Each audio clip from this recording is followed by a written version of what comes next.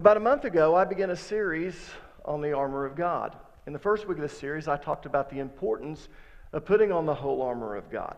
In the second week, I explained how to put on the armor of God. And if you weren't here, you really need to watch that video on our website because every Christian needs to know how to put on the armor of God in order to stand against the wiles of the devil.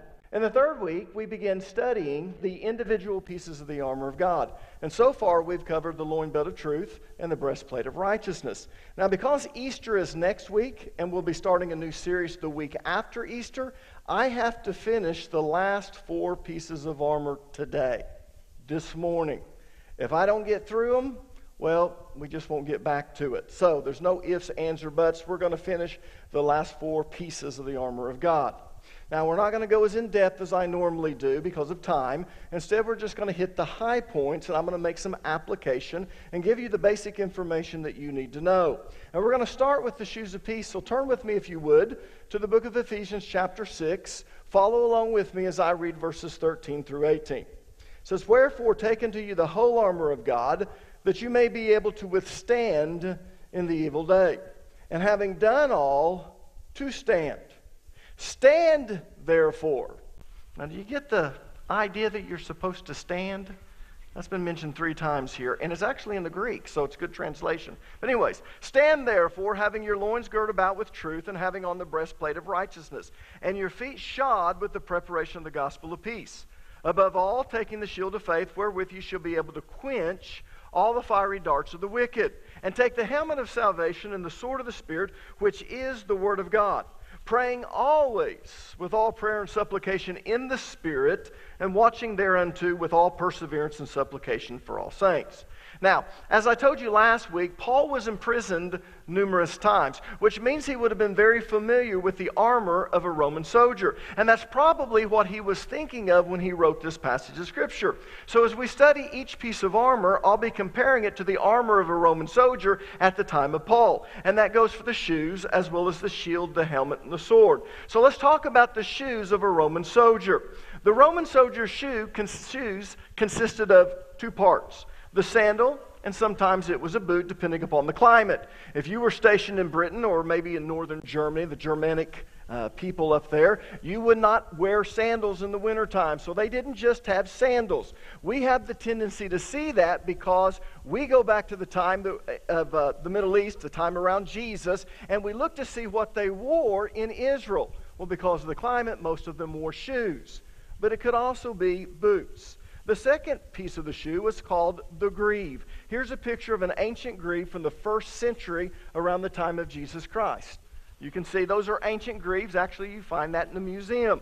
But regardless of whether it was a sandal or a boot, their shoes had metal spikes or what we would call cleats, one to three inches long. In fact, the cobbler who made the shoes would begin with two small pieces of flat metal with spikes attached to them. And then he would sandwich those two metal plates between two pieces of leather that were cut out in the shape of a soldier's foot. One of the pieces of metal was placed where the ball of the foot would be, and the other was placed at the heel. And then he would stitch those two pieces of, of leather together, forming the sole of the Roman soldier's shoe. Now, if the soldier was stationed in the city, the spikes were one inch long. If he was on the battle line, if he was getting ready to go into the battle, the spikes were three inches long. Now, the spikes had a threefold purpose. First of all, they acted like an athlete's cleat in order to give them traction because you didn't want to slip in the heat of the battle.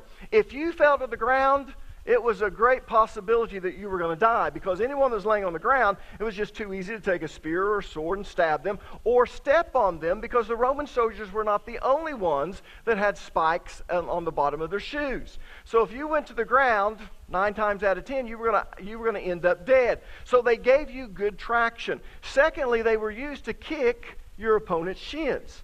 Believe it or not, that was a common tactic in hand to hand combat, especially against opponents who didn't have the proper armor. And last but not least, they were used to crush the enemy's neck when he had slipped and was on the ground or maybe was wounded on the ground. You didn't want to have to go around doing this, so you just step on their neck and you would kill them as one of the spikes went through the jugular vein. Now, let's talk a little bit about the greave. The greave was a beautifully tooled piece of brass that began at the top of the knee and went all the way down to the top of the foot. And it curved around the sides of the soldier's legs. It looked something like this. Again, here's another picture. You find this in a museum. Now, the main purpose of the greave was for, for protection. In fact, with their greaves on, a soldier could walk through thorns or briars and never get a scratch. But more importantly, the greaves protected the soldier's shins when they were in hand to hand combat. Again, the favorite tactic of a soldier was to kick their opponent in the shins. And what most people don't realize is that a good hard kick would either break the opponent's leg or it would lacerate their shins very severely.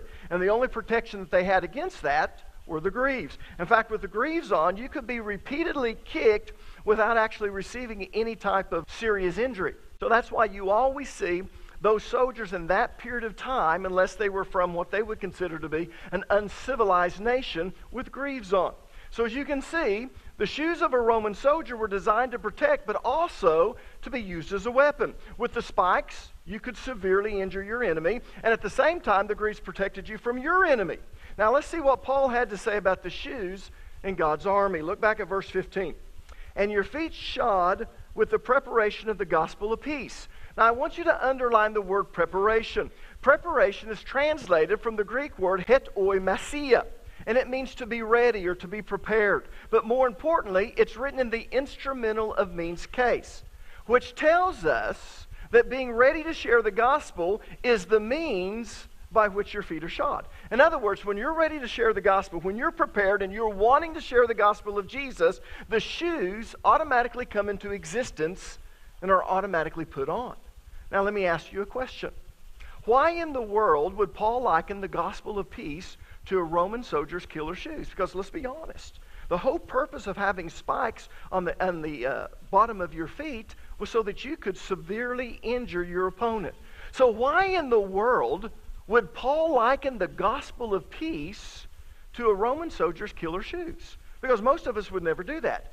In fact, for most of us, that would never even cross our mind. Because when we think of the gospel, we think of feet, what do we think of? We think of verses like Isaiah chapter 52, verse number 7. Look at that scripture. Notice what it says. How beautiful on the mountain are the feet of the messenger who brings good news, or in other words, the gospel. The good news of peace and salvation. The news that the God of Israel reigns. Now, the reason we think that way is because we see things from the perspective of the person being saved, from the perspective of the person who's hearing the gospel for the very first time. But Paul is seeing this from a different perspective because Paul knows that there is a spiritual battle that takes place in the spiritual realm when we begin to share the gospel of Jesus Christ. It's a battle between angelic forces and demonic forces. And the shoes in God's armor are designed to crush the enemy and free the captive. You see, the gospel does two things, and you always need to remember this. Number one, it crushes Satan's power over individuals, and number two, it sets the captives free. So, from Satan's perspective, the gospel is very deadly. But from the captive's perspective, the gospel is liberating. Now, listen to me. We can never forget that the gospel of peace crushes the enemy. Most of us never think that way because when we think of the gospel, we always see it from our perspective. When we first heard the gospel and we responded to it. But you see, we forget about the, the perspective of Satan. To Satan, it's destroying him, it's crushing him. In fact, turn to Romans chapter 16, verse 20, and I'll show you what I'm talking about. It says, The God of peace will soon crush Satan under your feet. Do you see that? The God of peace will soon crush Satan under your feet. You see, the only way that God can bring peace to this world and to individuals is to crush the one who's responsible for all of the upheaval in this world and also the upheaval in individuals' lives. And who's the person that's responsible for that? Satan. Satan is the person who's responsible for that. So, as I said, from Satan's perspective, the gospel is very deadly. But from the captive's perspective, the gospel is liberating. But let's make a little bit of an application here because we're talking about spiritual warfare. And normally, when we think about spiritual warfare, it's because the enemy is attacking us. Maybe he's attacking our finances. Maybe he's attacking our marriage. Maybe we're having problems at work, and you know, really, we've done nothing wrong. We have good work ethics. We're doing exactly what we're supposed to, but you're having problems at work. And many times we say, you know, I'm under spiritual attack. But here's normally what we do when we're under spiritual attack. Normally we withdraw inside of ourselves. And we become an introvert instead of an extrovert. And what we do is we go, oh God, look at me. I'm having such a horrible time. But what we forget is that we need to go on the offensive. And one of the best ways to go on the offensive when you're being attacked by the enemy is start sharing the gospel of Jesus Christ. But here's what's sad most of us never think of that. When we're going through an attack, we're not going to share the gospel of Jesus Christ. All we can think about is ourselves. But you know, the truly mature Christians, it doesn't matter what attack they're going through, they're still very prepared and very ready to share the gospel of Jesus Christ. And I always think about my mother. When my mother started getting sick, you know, I really thought, you know, she'd all be concerned about herself, but she wasn't. What she was concerned about was the church and sharing the gospel of Jesus Christ. And, you know, because of what my mother had, she started having hallucinations. And so she would think something happened that really didn't happen. I can remember one time, my dad and my mom came to my house, and my dad said, Would you tell her something didn't happen? And I said, Well, Mom, what is it? And she thought someone had called her from the radio station and they were, in a sense, talking with her, and she said something that might have been a reproach to the church. And it was just eating her up. She said, Allen, I would never do anything. I said, Mom, I know you wouldn't do that. But here's what was interesting about my mom. No matter how bad she got, and of course she began to deteriorate at the end, she was still thinking about the souls of others and how to share the gospel of Jesus Christ. And I want you to understand, even though she, the ultimate victory came, of course, when she passed away and now she's with Jesus, but I want you to understand, she was still witnessing to people. If you want to be what God wants you to be, when you're under a spiritual attack, you have to forget about what's happening to you and you have to be ready to share the gospel of Jesus Christ. You know, some of you are always complaining that people are talking about you or spreading rumors about you or people are stabbing you in the back. Oh, get over it. You want that to happen? Become a pastor. I'm serious. You know, I didn't grow up in a pastor's home. And I thought when I became a pastor, I thought everyone was going to love me because I'm going to share the gospel, I'm going to help people. And I found out just the opposite is true. Most of the people have roast pastor for lunch after Sunday sermon. Yeah. And when people get upset and they leave, they go out and they tell all sorts of things. And people who have never even attended my church are saying things about us. You know, I learned that early on. And here's what I learned I learned if people aren't calling you a cult, you're probably not doing what you're supposed to be doing. It's amazing what goes around. How many of you heard that Cornerstone Fellowship's a cult before you started coming to our church? Yeah, go ahead and raise your hand. See all those hands? Yeah, I had a person come up to me one time and they said, Yeah, I heard if you come to your church and become a member, we, they have to show you W 2 forms. What? What? All kinds of, of rumors go out.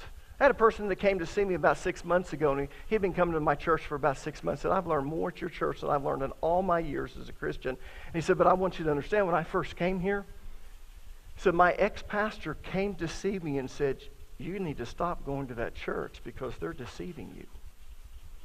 They're going to lead you astray. And I thought to myself, Oh my gosh, there's probably no other in church in town that is talked about like Cornerstone Fellowship. And I, I don't understand that. But I learned early on that I don't worry about that.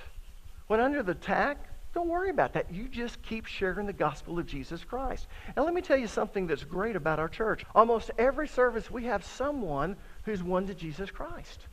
And sometimes we'll have three or four, and sometimes we'll have seven or eight people who will raise their hand to accept Jesus Christ. Now, I grew up in the Baptist church, and I'll be honest with you. If we saw one person walk down the aisle in a month, we thought, man, did you see? We had a person saved. And you know, now we see people saved all the time, but I'll tell you why. It's because we teach the Word of God. But I'm here to tell you when you're under spiritual attack, you need to still be ready and prepared to share the gospel of Jesus because they are killer shoes to the enemy. And if you just keep on going, I want you to understand those things will just roll right off of you. Now, Let's look at the next piece of God's armor, which is the shield of faith. So turn with me to verse 16 in Ephesians chapter 6. It says, Above all, taking the shield of faith, wherewith ye shall be able to quench all the fiery darts of the wicked. Now, as I told you last week, the Roman soldiers were issued two different types of shields. One was for public parades and ceremonies, and it was called an aspis. The other was for battle, and it was called the thurios. Now, the shield that Paul is referring to is the thurios. It was four foot long by two and a half feet wide, and it was shaped just like a door, which is interesting because the Greek word thurios is derived from the Greek word thura, which literally means door. So it aptly describes what a Roman soldier's shield looked like. Now, with this large of a shield, a Roman soldier could completely cover himself from the aerial assaults of the enemy. And if you understand the battle tactics back then, you would literally have your army line up and you would face the other army's battle line. And, and what was interesting is you began to march towards each other, the archers on each side would shoot arrows. And when you saw those arrows coming, I'm telling you, there could be so many, it would almost blacken the sky, make it dark. And the only thing you could do is actually get down on your knee, put your shield up, and their shield was so large it completely covered them when they were under an aerial assault. Now, as I said last week, the shield had an iron frame and was composed of six layers of animal hides treated in a special way to make it as strong as steel. The middle of the shield had a metal boss at the center of it because that was its weakest spot, its weakest point. And this eliminated any weakness and made it almost impenetrable. Now, in verse 16, Paul said that the shield of faith is able to quench the fiery darts of the wicked. Look back at verse 16, you'll see what I'm talking about. It says, Above all, taking the shield of faith, wherewith you shall be able to quench all the fiery darts of the wicked. Now, what in the world are fiery darts? Well, the word darts is translated from the Greek word belos, which, which is derived from the Greek verb ballo, which means to throw. So belos refers to anything aerial, such as arrows, javelins, or darts. But most of the time it referred to arrows. Now, Thucydides was a Greek historian who lived about 400 BC. And his writings revealed that there were three types of arrows that armies used around the Mediterranean Sea. In fact, let me explain something about the people who lived in the Middle East around the Mediterranean Sea. That was the cradle of civilization. In fact, if you go back and you study these ancient empires, they were the most advanced empires in the world. I'll give you an example. When you go to some of the museums over there in the Middle East, maybe you go to Israel, you're going to Jordan, or you're going to Egypt, you go into these museums and you'll see certain pieces of equipment that are 3,000, 4,000 years old, and you can't believe it. You're thinking, how in the world did they do that? How in the world did they build the pyramids at the time of Abraham? In fact, they were actually built before Abraham. How many of you know that? The pyramids of Giza, Cheops? Yeah. I, I like to ask this question. I will say things like this. When Abraham went to Egypt, did he see the pyramids? And most people go, oh, I don't know. Yes, he did. They were built at that time. When Moses, he saw the pyramids. When Jesus' parents, Joseph and Mary, took him to Egypt, there were the pyramids. They saw the pyramids. They saw those things. And when you look at the things that the, uh, these ancient civilizations had, the houses they lived in, people, they didn't live in huts, they lived in houses. Now you go over there today and you think, man, they're so backward, they're third world countries. What in the world happened to them? Does anyone know? Islam. Islam. Islam is built on 7th century nomadic tribe customs and culture from Saudi Arabia. They still wipe their hand with, they say, well, still wipe their butts with their left hand. That's the way it is. In fact, if you go to Egypt today, you never hand anything with your left hand because that's an insult. Why? You wipe with your left and you eat with your right. Yeah. But the reason they're so backward when at one time they were advanced is because of Islam. But here's what I want you to understand. Thucydides was a Greek historian who lived about 400 BC. And his writings reveal that there were three types of arrows that were used by the armies that are around the Mediterranean Sea. The first arrow were, were plain arrows, just like our arrows today. They had metal tips. Yeah. Some of you enjoy going and, and finding arrowheads today, and you find one and it's all chipped out. And you go, oh, look, an arrowhead. It's probably 300 years old. Isn't that sad? Because 4,000 years ago, the Persian Empire, the Greeks, the Babylonians, the Assyrians, the Egyptians, they had metal. Their arrows had metal tips. So you had arrows with metal tips just like our arrows today. The second type were flame arrows. They would dip them in tar and then they would light them on fire and shoot them. The third were arrows that were filled with combustible fluid, uh, a combustible fluid sealed and then shot. Now, these combustible arrows were made from slender pieces of cane that were hollowed out, and they were filled, as I said, with a combustible fluid, and then they were sealed with wax or clay, and then they were shot. And when they hit, they would scare the crap out of you because they exploded on impact. Now, to the natural eye, they look like a plain arrow. So when the enemy would shoot these arrows, it'd be, oh, there's just an arrow. I'll put my shield up. But when they hit, they exploded like a bomb. Now, these fluid filled arrows were not used in normal combat situations. They were reserved for use against the fortified positions of the enemy. That's when they brought out these type of arrows. But here's what's interesting. Paul's word usage in the Greek is identical to Thucydides. So this is what Paul was talking about when he said fiery darts. Yes. Now, people, this is really applicable to us as it pertains to spiritual battles that we face as Christians. I want you to think about this. How many times does it look like the devil is throwing something small at you? Oh, yes, this is an attack of the enemy, but you know, it doesn't look very big. And before you know it, it explodes into something major. In other words, it looks like a normal attack and then it explodes into something much larger. Well, Paul says that the shield of faith is able to quench the fiery darts.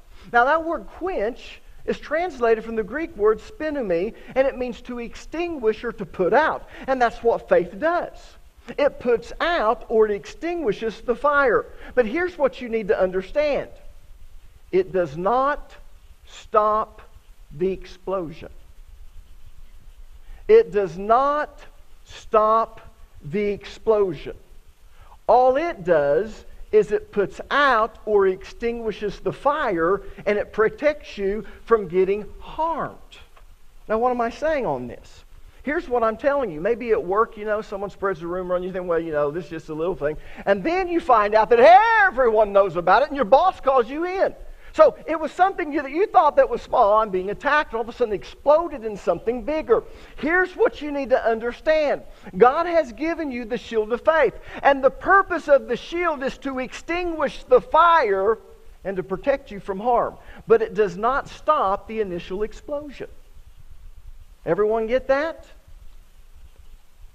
Because there are some people that think because they're a Christian, everything's going to be roses. Well, honey, I want you to understand to have roses, there's got to be a lot of fertilizer. So crap will happen in your life.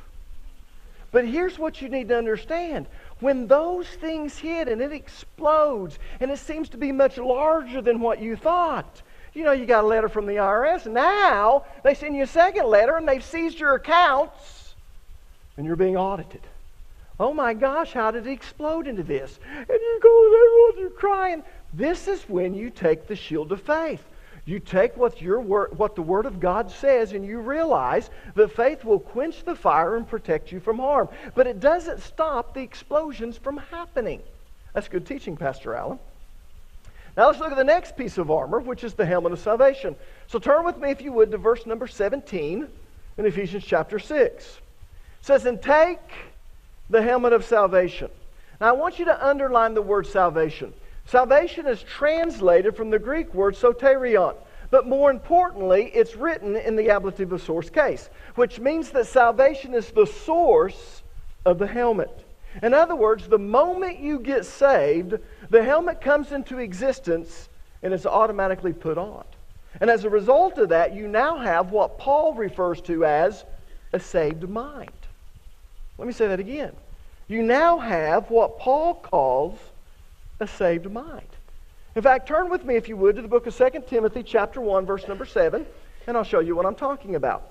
It says, For God hath not given us a spirit of fear, but of power and of love and of a sound mind. Now, I want you to underline that phrase, sound mind. Sound mind is translated from the Greek word sophronismos, or I should say this, sophronismos. That's about the best way I can pronounce it. Now, sophronismos is a compound word. That simply means that it's made up of more than one word. In this case, it's made up of two words. It's made up of the word so, which means whole or health. In fact, so is a common stem in the Bible. It's the stem for the word soteria, which means salvation, soter, which means savior, and sozo, which means saved. Now, hopefully, if you've noticed that all three of these words deal with the act of saving. And that's because the stem so indicates the act of saving us from anything that jeopardizes our health or what the Bible would call wholeness. So it's usually translated as saved. So what is so? What does the stem so mean? It means saved. The second word is phroneo, and phroneo refers to the mind. So when you combine these two words, it literally means saved mind. So notice what Paul is telling Timothy. He says, For God has not, hath not given us a spirit of fear, but of power and of love and of a saved mind. So if I were you, I would open up my Bible to 2 Timothy chapter 1, verse number 7, and I would cross out that phrase sound mind, and I would write right above it saved mind, because that's what it literally says. Now, you won't understand what Paul is saying unless you understand the background of this book. So let me give you a little bit of background information that you need to know. Timothy pastored in the city of Ephesus, and it was the very first mega church in the world outside of Jerusalem. Yeah. Scholars think, they believe, that his church had over 25,000 members. Now, people, the population of Tahlequah is 15,600, somewhere in there. It's going to go up by the year 2020 to around 20,000. But here's what I want you to understand. Even if it goes up to 20,000, he had over 25,000 members in his church. So Paul wrote the book of 1 Timothy to Timothy to teach him or to tell him and to give him some instruction on how to administrate this large, growing megachurch because Timothy was a young man. And he has all of these members and he's kind of overwhelmed. So Paul writes the book of 1 Timothy to instruct him on how he should administrate his church. That's why they're called the pastoral epistles. Yeah. They're good advice to how to administrate a church. Now, Shortly after Paul wrote the book of 1 Timothy, persecution began. And Timothy's mega church just crumbled. He went from a church of over 25,000 members to a church under 100. Can you imagine having a church of over 25,000 members and then persecution begins and you have a church of less than 100?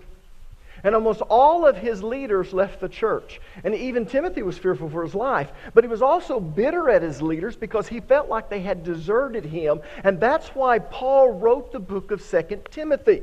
So in 2 Timothy chapter 1 verse number 7, Paul told Timothy, God has not given you a spirit of fear, but of power and of love and of a saved mind. In other words, Paul told Timothy, quit your stinking thinking. God's given you a saved mind, so start using it. Quit thinking the way the world thinks and start thinking the way that God's Word tells you to think. You see, a saved mind doesn't mean that God supernaturally renews your mind when you get saved. It's not like all of a sudden when you get saved, whoa, I just think like Jesus thinks. No. You have to renew your mind because God doesn't do it for you. In fact, turn to the book of Romans, chapter 12, uh, verses, verse 2, and I'll show you what I'm talking about. Very familiar passage of Scripture. Paul is writing this, and he says, And be not conformed to this world. The problem is, most of you are conformed to this world. You think like the world thinks. You think that success is all about money and prestige and power and being popular or whatever it is. Do you think that's what success is all about? Of course, Jesus comes along, he says that it's not. He says, life is not about material things. Yeah. So he tells them, don't be conformed to this world, but be ye transformed. Now, how are you transformed? By the renewing of your mind. Why do you want to be transformed? So that you may prove what is that good and acceptable and perfect will of God. You see that word prove? It's translated from the Greek word diakrino, and it literally means to make a distinction between. So the whole reason we're supposed to renew our mind is so that we can make a distinction between the acceptable, the good, and the perfect will of God. See, some of you just want to know the will of God. Well, you're a babe. I don't just want to know the will of God. I want to know the distinction between the acceptable will of God and the perfect will of God. Most of you have settled for the acceptable will of God, and that's why your life is kind of, mm, oh. I want the perfect will of God. But the only way I can make a distinction between the acceptable will of God and the perfect will of God is not to be conformed to this world, but to be transformed by the renewing of my mind so that I can make a distinction between the acceptable, the good, and the perfect will of God. So, what is a saved mind? I still haven't told you what a saved mind is. Well, let me see if I can explain it to you. Before you were saved, your mind was blind to the truth of God's Word. But now that you're saved, your mind has been opened to the truth. So a saved mind is a mind that's no longer blind to the truth, but now it's able to see the truth of God's word. Look at 2 Corinthians chapter 4 verses 3 and 4 and you see what I'm talking about. It says, "If the gospel we preach is hidden, it's hidden from the people who are lost." You know, I can't understand why everyone in the world's not saved. You want to know why? Because salvation determines where you're going to spend eternity. And we are going to die. There's not a person out here that's not going to die. Hey, I've got news for you. You're going to die. Unless Jesus comes back before. But if not, man is appointed once to die. But there's all these people who aren't saved. Why aren't they saved? Well, let's just keep reading. If the gospel we preach is hidden, it's hidden from the people who are lost. Satan, who is the God of this world, hath blinded the minds of those who don't believe. They are unable to see the glorious light of the gospel. They don't understand this message about the glory of Christ, who is the exact likeness of God. So, as you can see, those who are lost are blind to the truth. But those who are saved are no longer blind to the truth, but they're able to see the truth of God's Word. So that's what Paul was telling Timothy. He was telling Timothy that God has given him a saved mind, a mind that can see the truth. He's saying, Wake up, Timothy. God's not giving you a spirit of fear, but of power and of love and of saved mind. These lost people, they're blind to the truth. But you have a saved mind. You need to renew your mind because you can see the truth of God's Word.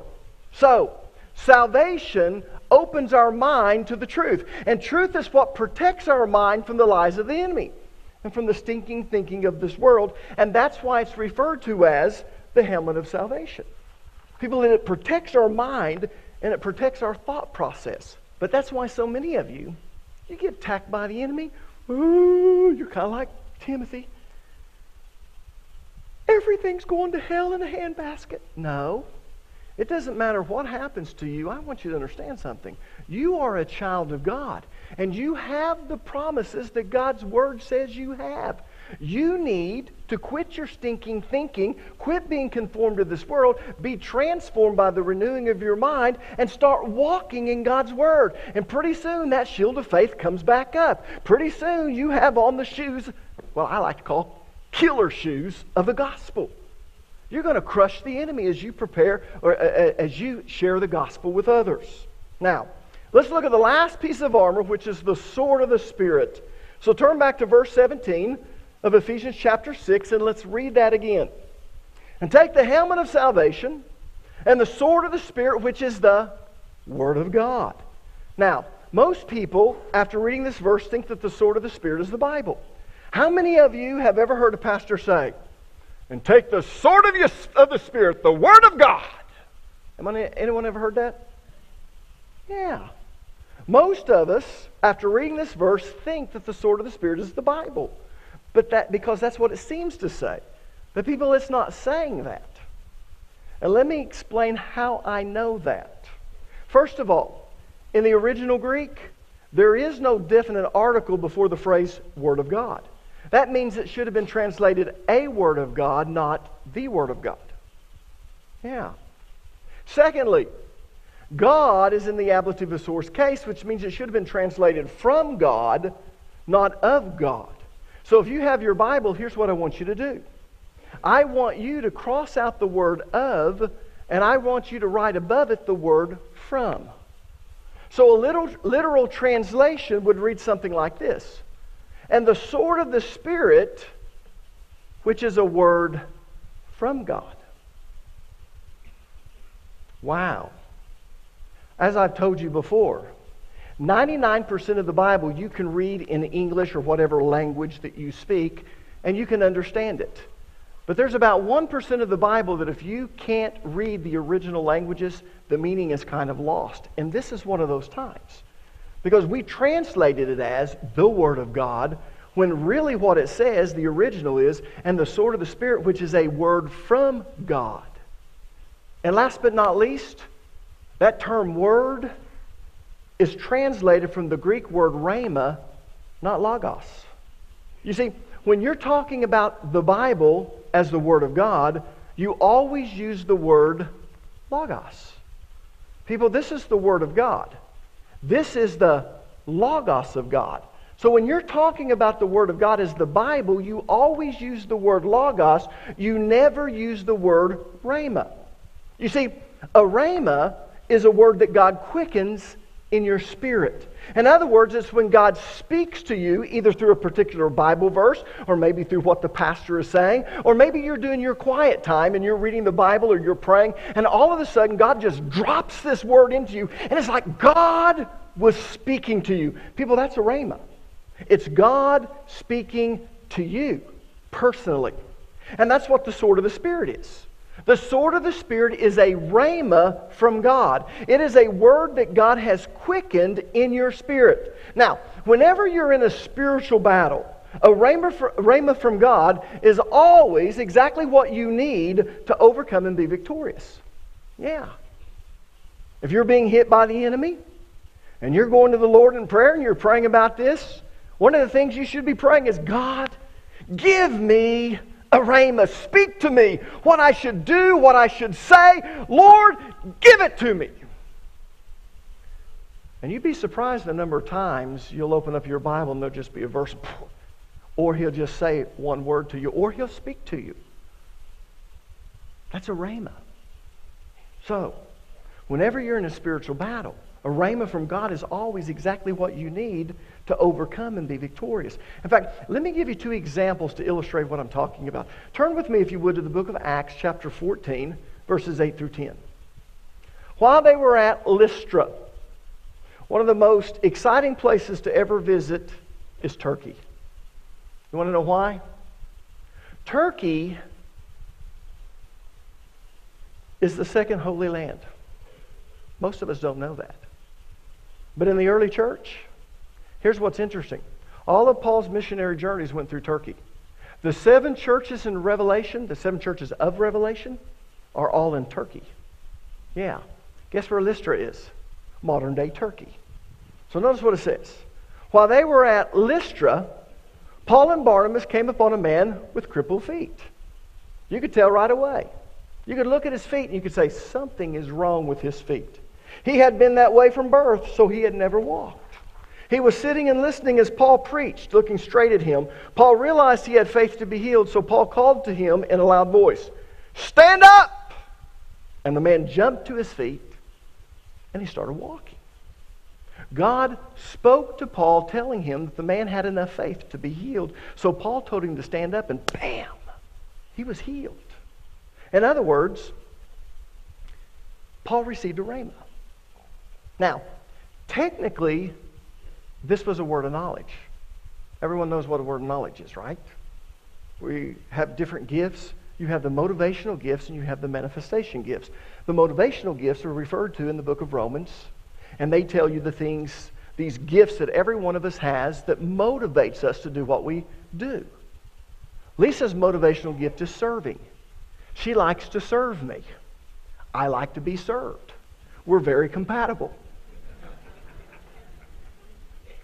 My motivational gift is teaching. I like to teach.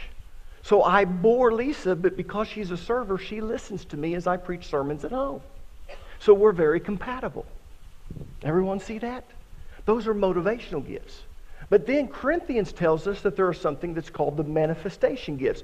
They're manifestations of the Spirit. Those are the gifts that if you're from the Assembly of God or the Pentecostal, you're very familiar with those gifts. Those are the gifts like the gift of prophecy, the gift of word of knowledge, the gift of word of wisdom, the gift of faith, the, the gifts of healings, the gift of miracles. Those are the manifestation gifts. Those things happen as the Spirit wills. So the motivational gifts, they affect your personality.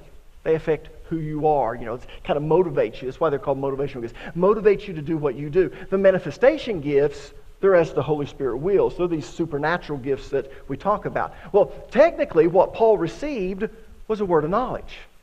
In other words, he knew something that he had no way of knowing in the natural. He knew that this man had the ability or had the faith to walk. So here he is preaching. He looks at this man and he's been looking at it, and all of a sudden God just drops in his spirit. He tells him, This man has enough faith to be healed. And so he looks at that man and says, Stand up! The man stands up and he walks around. But here's what I want you to see. Even though technically it's a word of knowledge, the reason that Paul knew it is because God told him. God told him. So it was a rhema. But it was a rhema for that specific, specific situation. When God speaks to you, it will always be for a specific situation. There have been times that God has spoken to me, times that God has spoken to my wife. In fact, I can remember one time we were in church and God didn't speak to me on this because I'm ready to preach and I'm concentrating on the Word of God. But all of a sudden, my wife just knew Macy's in danger. Now, this was the time that we were doing three services. We were doing a Saturday night service, an 8 o'clock or a 9 o'clock service, and an 11 o'clock service. And so we're getting ready to start the 11 o'clock service. Macy had gone to the Saturday night, so she stayed home, and Lisa had asked her to water the flowers. And so something just hit, and, and God told Lisa, said, Macy's in danger. You need to pray. So she just prayed in the Spirit, didn't tell me. She didn't want to worry me. I got up there and preached. We're going home, and she said, Something just told me to pray for Macy. And so I was praying. If you look like I wasn't paying attention to you, I wasn't because I was praying. So I'm not going to say anything to Macy. I don't want to scare her. So we get home, and Macy says, Mom, Dad, something strange happened this morning. Said, I went out to water the, the flowers, and there's a person parked in the park in a van. And he was just staring at me. And he got out and was staring at me. And I felt uncomfortable. So I turned off the water, and I didn't want to act like I was scared, and I walked. out. I got in, and I locked the door. He said, I went upstairs, and I looked out the window and said, he was going from the side to side. Looked like he was looking at something else. And then he gets in his van, and he slams the, the, steering wheel, and he drove off. I said, Mom and Dad, that scared me. Of course, Lisa tells me the story. But you see, God speaks to us. He gives us rhemas for the specific situation. Now, let me give you a second example as an illustration. Look with me, if you would, in Acts chapter 16, verse 16, 16 through 18. Now, it happened as we went to prayer that a certain slave girl possessed with the spirit of divination met us, who brought her masters much profit by fortune telling. She's dealing with familiar spirits, that's why. This girl followed Paul and us and cried out, saying, These men are the servants of the Most High God who, who proclaim to us the way of salvation. Now, we think, why in the world would she do that? Well, you need to understand something. In the original Greek, it doesn't say the way of salvation, it's no definite article there. She was proclaiming a way of salvation. See, back then they taught that there were many ways, just like they do today, to the mountain of God. There's many ways to get to heaven. So she was saying, Oh, this is a man of God. He's preaching you a way to heaven. See, Paul had allowed this to go on for several days, and then notice what happens. This is verse 18. And this she did for many days. But Paul, greatly annoyed, turned and said to the Spirit, I command you in the name of Jesus Christ to come out of her. And he came out that very hour. God spoke to Paul and told him that the girl was possessed by a demon. He'd been allowing this demon possessed girl to follow him around. And then he turns around and he knows that she's possessed by a demon because God told him. So he commanded the demon to come out of her, and bam, she was delivered. Now, again, this was a word of knowledge. Paul knew something that he had no way of knowing in the natural. But the reason he knew it is because God told him. So even though it was a word of knowledge, it was also a rhema, and it was for that specific situation. Let me explain the purpose of growing in the Lord. The whole purpose of growing in the Lord is to strengthen your relationship with God to be able to do His will. But there's benefits to knowing God. And one of the benefits is you begin to know God, God begins to speak to you personally. You know, we look at these people in the Bible and we think, man, these are great men of faith. And many of them were. But the Bible tells us in Hebrews, they're just like us. They're men of flesh. So the very things that God did for them, God can do for us. Now, when you're in a spiritual battle, what you need is for God to speak to you. You need a rhema. And when he does, it's a sword in your hand. In that moment, you'll know exactly what to do or say to overcome and be victorious. So it truly is like a sword in your hand, but it's even better. It's a word from God. So when we look at these different pieces of armor and the ones that we covered this morning, we realize that we need every bit of these. We need to have these shoes of peace. We need to be prepared to share the gospel of Jesus Christ. And even in the midst of our spiritual battles, we need to be sensitive. We need to be receptive. We need to be prepared and ready to share the gospel of Jesus. Because when we do that, it crushes the enemy. The other thing that we need is a shield of faith. Because sometimes it looks like a little arrow's coming at us, and we put that up, and then boom, it explodes into something major.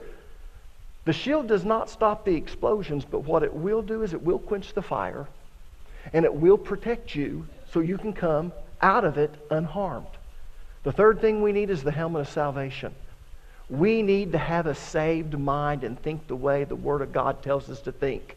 Because if we don't, we'll believe the lies of the enemy. And as long as you believe the lies of the enemy, you will never be victorious. And last but not least, you need the sword of the Spirit, which is a word from God.